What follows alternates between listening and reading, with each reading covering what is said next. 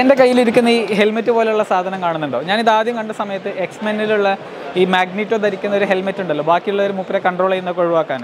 അതാണെന്നാണ് കരുതിയത്. പക്ഷേ ഇവരോട് ചോദിച്ചപ്പോൾ മനസ്സിലായി ഇതൊരു കൊറിയൻ കമ്പനി ആയിട്ടുള്ള ഐ മെഡിസിങ്കിന്റെ ഐ സിങ്ക് വേവ് എന്ന് പറഞ്ഞിട്ടുള്ള ഒരു ഡിവൈസാണ് ഇതിന്റെ പരിപാടി എന്താണെന്ന് വെച്ച് കഴിഞ്ഞാൽ നമ്മുടെ ബ്രെയിനിന്റെ ഇലക്ട്രിക്കൽ ആക്ടിവിറ്റി മോണിറ്റർ ചെയ്തിട്ട് നമുക്ക് ബ്രെയിൻ റിലേറ്റഡ് ആയിട്ട് വരാൻ സാധ്യതയുള്ള ഒരുപാട് പ്രശ്നങ്ങൾ ഉണ്ടാവുമല്ലോ. അത്തരം കാര്യങ്ങൾ ഡിറ്റക്ട് ചെയ്യാൻ കഴിയുന്ന ഏർലി സ്റ്റേജസിലൊക്കെ ഡിറ്റക്ട് ചെയ്യാൻ കഴിയുന്ന ഡിമെൻഷ്യ പോലെയുള്ള രോഗങ്ങൾ നമ്മുടെ സ്ട്രെസ് ലെവൽ ഇങ്ങനെ ബ്രെയിനുമായി ബന്ധപ്പെട്ടിട്ടുള്ള പല കാര്യങ്ങളും നമുക്ക് ഒബ്സർവ് ചെയ്യാൻ പറ്റുന്ന ഒരു ഡിവൈസാണിത് പക്ഷേ ഇത് നേരിട്ടല്ല ചെയ്യുന്നത്. ഇതിൽ ഒരുപാട് സംഭവങ്ങൾ നമുക്ക് കാണാൻ പറ്റുന്നുണ്ടാകും. ഇതുവഴി ഇത് നമ്മുടെ ഇലക്ട്രിക്കൽ ആക്ടിവിറ്റി ബ്രെയിനിൽ നടക്കുന്ന ഇലക്ട്രിക്കൽ ആക്ടിവിറ്റി മോണിറ്റർ ചെയ്യുന്നു. ആ ഡാറ്റ ഇത് ഇതുമായിട്ട് അറ്റാച്ച് ചെയ്തിട്ടുള്ള ഒരു ടാബ് അവർ പറയുന്നുണ്ട്. ഇവരുടെ ഒരു ആപ്പ് ഉണ്ട്. ആ ആപ്പിലേക്ക് കാര്യങ്ങൾ ഷെയർ ചെയ്യുന്നു. പിന്നെ അത് ഇവരുടെ ക്ലൗഡിലേക്ക് അയക്കുകയാണ്. ക്ലൗഡിൽ അവരുടെ എ ഐ ഉണ്ട്. എ ഐ ആ ഡാറ്റ അനലൈസ് ചെയ്യുന്നു. ആ ഡാറ്റ അനലൈസ് ചെയ്ത് കഴിഞ്ഞിട്ട് നമ്മുടെ ബ്രെയിനിന്റെ ആക്ടിവിറ്റികളുടെ കറണ്ട് സ്റ്റാറ്റസ് എന്താണ്? എന്തെങ്കിലും പ്രശ്നമുണ്ടോ? നമ്മുടെ സ്ട്രെസ് ലെവൽ പോലെയുള്ള കാര്യങ്ങൾ. നമുക്ക് ബ്രെയിൻ റിലേറ്റഡ് വരാൻ കാര്യമുള്ള എന്ത് കാര്യങ്ങൾ വേണമെന്നുണ്ടെങ്കിൽ ഒബ്സർവ് ചെയ്യാന്നാണ് പറയുന്നത്.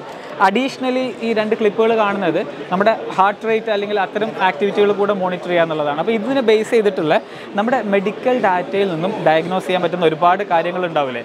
പല രോഗങ്ങളെയും ഒരു പ്രിവെന്റീവ് ഹെൽത്ത് കെയറിന്റെ ഭാഗമായിട്ടാണ് പറയുന്നത്. അതായത് രോഗം വരുന്നതിന് മുൻപേ തിരിച്ചറിയാൻ പറ്റുക എന്നുള്ളതാണ് പല കാര്യങ്ങളും നമ്മളൊരു ലേറ്റസ്റ്റ് സ്റ്റേജിൽ തിരിച്ചറിയുമ്പോൾ അത് പ്രിവെന്റ് ചെയ്യാൻ കഴിയാത്തൊരു പോയിന്റിലായിരിക്കും ഉണ്ടാവുക. പക്ഷേ അതിൽ നിന്ന് മാറിയിട്ട് ഇതിനെ ഒരു ഏർലി സ്റ്റേജ് ഡിറ്റക്ഷൻ അലോ ചെയ്യുന്നു എന്നുള്ള ഒരു അഡ്വാന്റേജ് ഇതിനെ സംബന്ധിച്ചിടത്തോളം ഉണ്ട്.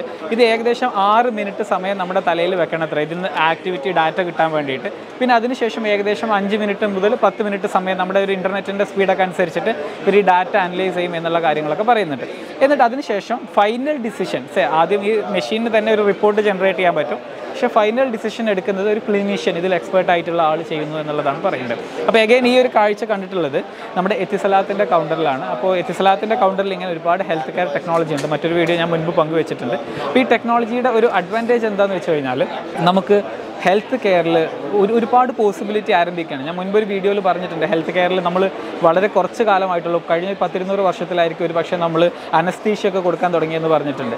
അല്ലെങ്കിൽ കുറച്ച് കാലമായിട്ട് ഇപ്പോൾ ഓപ്പൺ സർജറികൾ കുറഞ്ഞിട്ട് കീഹോൾ സർജറികളിലേക്ക് മാറുന്ന കാര്യം പറഞ്ഞു.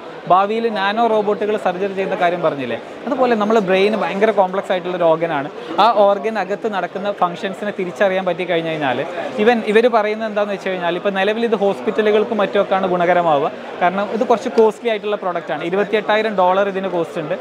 ഇരുപത്തെട്ടായിരം ഡോളർ എന്ന് പറയുമ്പോൾ നമ്മുടെ നാട്ടിൽ ഇരുപത്തഞ്ച് ലക്ഷം രൂപയൊക്കെ ചിലവുണ്ടാകും കൂടാതെ ഒരു ഏഴായിരം ഡോളറോളം ഇവരുടെ ഓൺലൈൻ സർവീസുകൾ അതായത് ക്ലൗഡിലാണ് ഇതിന്റെ എ ഐ കമ്പ്യൂട്ടേഷനൊക്കെ നടക്കുക നടക്കാന്ന് പറഞ്ഞല്ലോ. അതിന് ചിലവുണ്ടെന്ന് പറയുന്നുണ്ട്. അപ്പോൾ അത്തരം കാര്യങ്ങളൊക്കെ ഒരു സാധാരണക്കാരനെ നോക്കിയിട്ടുള്ള കാര്യങ്ങളല്ല. ഇത് കാണുന്നവരൊക്കെ ആലോചിക്കുക ഇതിന്റെ അടുത്ത് ഇതിന്റെ ചിലവ് എത്രയായിരിക്കും എന്നുള്ളതാണ്. ഒരു കാര്യം ഉറപ്പാണ്. ചില ആൾക്കാർ അഫോർഡബിലിറ്റി ഉള്ള ആൾക്കാർക്ക് ഹെൽത്ത് കെയർ പോലെയുള്ള കാര്യങ്ങൾ ഭയങ്കര ആക്സസിബിൾ ആവുകയും അവരൊരു പക്ഷേ നൂറ് കൊല്ലോ നൂറ്റി ഇരുപത് കൊല്ലോ ഒക്കെ ജീവിക്കാനുള്ള സാധ്യതയുണ്ട്. എല്ലാവർക്കും ഇത് ചെയ്യാൻ പറ്റിക്കൊള്ളണമെന്നില്ല. അപ്പോൾ കുറച്ച് എല്ലാ ടെക്നോളജികളും അതിന്റെ ആരംഭത്തിൽ അത്യാവശ്യം നല്ല പൈസയുള്ള ആൾക്കാരുടെ കയ്യിൽ മാത്രമേ കിട്ടുള്ളൂ. ജസ്റ്റ് ലൈക്ക് ഫോണുകളും ലാപ്ടോപ്പുകളൊക്കെ ആദ്യം അഫോർഡ് ചെയ്യാൻ പറ്റിയിട്ടുണ്ടാവുക. സ്മാർട്ട് ഫോണുകളൊക്കെ അഫോർഡ് ചെയ്യാൻ പറ്റിയിട്ടുണ്ടാവുക. നല്ല പൈസയുള്ള ആൾക്കാർക്കല്ലേ.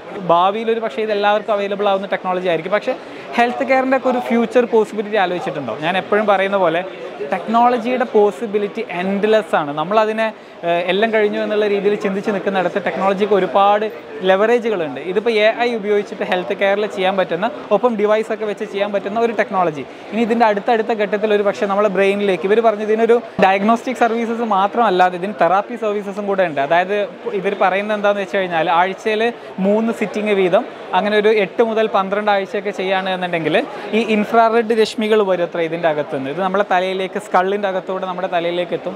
അതുവഴി നമുക്ക് നമ്മുടെ ഒരു സ്ട്രെസ് ലെവലും മറ്റുമൊക്കെ കുറയ്ക്കാൻ പറ്റും എന്നുള്ള ഇതിന്റെ തെറാപ്പി സർവീസസും ഉണ്ട്. അപ്പോൾ രണ്ട് രീതിയിലാണ്. നമ്മൾ ഡയഗ്നോസ്റ്റിക്കും വരുന്നുണ്ട് അതുപോലെ തെറാപ്പിയും വരുന്നുണ്ട്. ഭാവിയിൽ ഒരു പക്ഷേ ഇതൊക്കെ ഭയങ്കര കോമൺ ആയേക്കാം. ആദ്യ ഘട്ടങ്ങളിൽ വലിയ വലിയ ഹോസ്പിറ്റലുകളിലും. പിന്നീട് ഇവർ പറഞ്ഞെന്താണെന്ന് വെച്ച് കഴിഞ്ഞാൽ ഈവൻ എയർപോർട്ടിൽ ഇങ്ങനത്തെ ഒരു സംവിധാനം വെച്ചിട്ട് അവിടെ യാത്ര വിമാനമൊക്കെ കാത്തിരിക്കുന്നവർക്ക് വേണ്ടി വെക്കണമെന്ന് ചോദിച്ചു വന്നിട്ടുള്ള കസ്റ്റമേഴ്സ് ഉണ്ടെന്ന് പറയുന്നുണ്ട്. ഭാവിയിൽ ഒരു പക്ഷേ ഇത് അഫോർഡ് ചെയ്യാൻ കഴിയുന്ന ആൾക്കാരെ സംബന്ധിച്ചിടത്തോളം ഇതൊരു ഹോബിക്കൊക്കെ മറ്റു വാങ്ങാം. അവർ പറയുന്നത് ഇവൻ കസ്റ്റമേഴ്സിന് സ്പെസിഫിക് ആയിട്ട് ഇതിപ്പോൾ ബി ടു ബിയിലാണല്ലോ മെയിനായിട്ട് വർക്ക് ചെയ്യുക. ബിസിനസ്സുകൾക്കാണ് സെൽ ചെയ്യുന്നത്. ഭാവിയിൽ കസ്റ്റമർ സെൻട്രിക് ആയിട്ടുള്ള പ്രൊഡക്റ്റുകളും അവർ പ്ലാൻ ചെയ്യുന്നു എന്നുള്ളത് പറയുന്നുണ്ട്. എന്തായാലും ഹെൽത്ത് കെയറിൽ വരാൻ പോകുന്ന അടുത്ത ഒരു മേജർ ഇന്നോവേഷനായിട്ട് പോസിബിലിറ്റി ഉള്ള ഒരു ഇന്നോവേഷനായിട്ട് നമുക്ക് ഇതിനെ കാണാം.